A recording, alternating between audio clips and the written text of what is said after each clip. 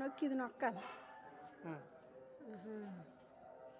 మరి అటు తెలిస్తే బాగుంటుంది.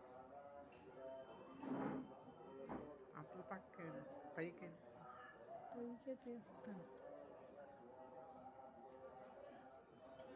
ఎన్నెన్ని పూలు అన్నీ పూలు అన్నీ పడతాయి.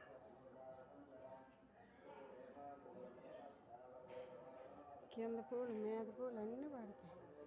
మొత్తం